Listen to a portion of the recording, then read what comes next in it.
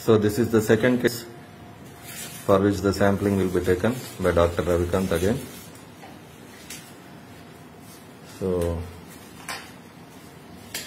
he's getting ready. So he's almost ready. Sanitizing the hands with sanitizer.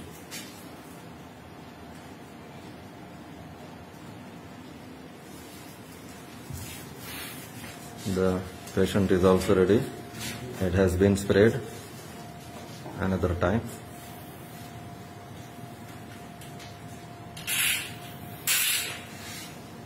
So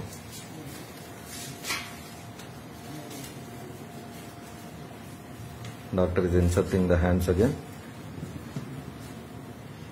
through the glass plane. So he has taken the swab removing it just taking it out. And that is the swab with which the sample is taken from the throat.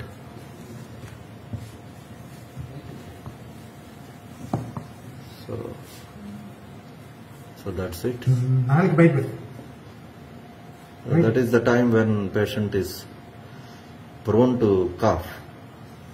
And that's when the glass pane helps protecting the doctor. So it's and that is the he's opening the What open?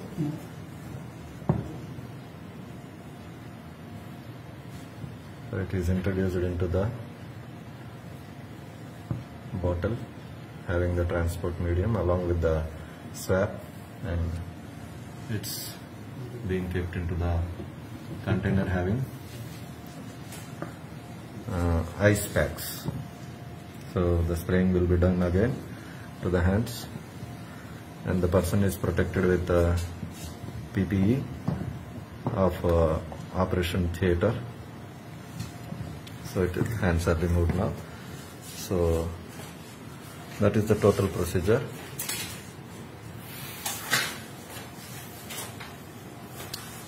Thank you.